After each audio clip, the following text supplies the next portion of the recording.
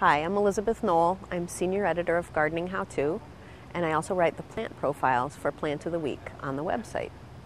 Today we're going to talk about common rose mallow, which you can see behind me, also called swamp rose mallow or hardy hibiscus. If you had to guess, you might say this big, bold beauty is from the tropics, but in fact it's a perennial native to the eastern U.S. It's hardy from zone 4 or 5 to zone 10, depending on the cultivar. Common rose mallow loves boggy and swampy spots in full sun. But even if you're not living in a marsh, you can have a happy rose mallow. Just keep its feet moist with regular deep watering.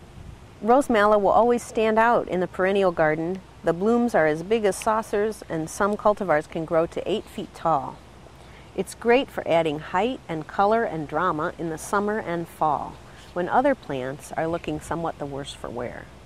The botanical name for common rose mallow is Hibiscus moschutos. The cultivar you see here is Fantasia. Rose mallows are hardy from zone 4 or 5 to zone 10, depending on the cultivar. They like wet spots with lots of sun. Another popular rose mallow is Copper King. You can see it's got darker foliage and pink stripes on white petals.